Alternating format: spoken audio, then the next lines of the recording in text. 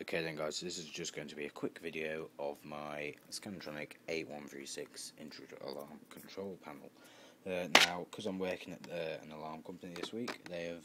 Uh, I was very fortunate to find spare mosaic keypad because mine is knackered. So he's let me have this keypad, which is obviously an older version, but luckily the inner circuit boards are pretty much the same, so I'll just swap it over into a new case to make it look a bit nicer. So it's just saying that it cannot exit engineers mode. So I'm in engineers mode. Program system. Enter. Oh shit.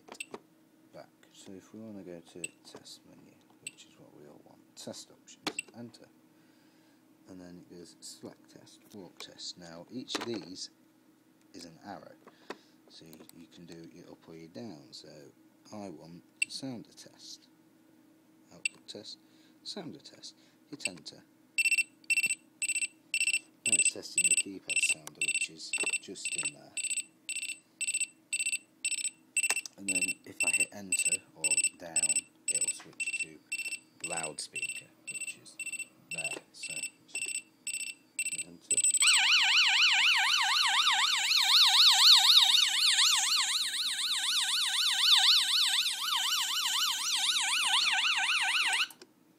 Now, of course, it's trying to energise the bell, but of course, I don't have any bell output wired in, which is output 1, as you can see.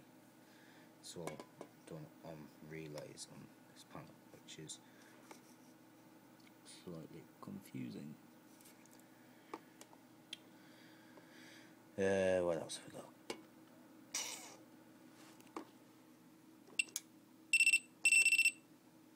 Now I'm not able to actually show anything else.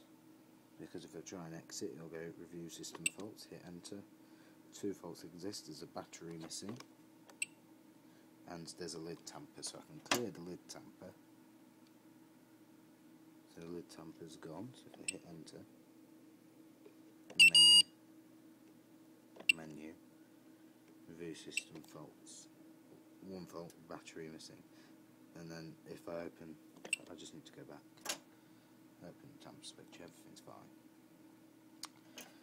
So that's that. I need to find my Phillips screwdriver. I don't know what I've done with it. It's in the garage somewhere because I last used it in the garage. I've got a Phillips which is too big my terminal driver another terminal driver and my flathead and there should be a Phillips on here as well.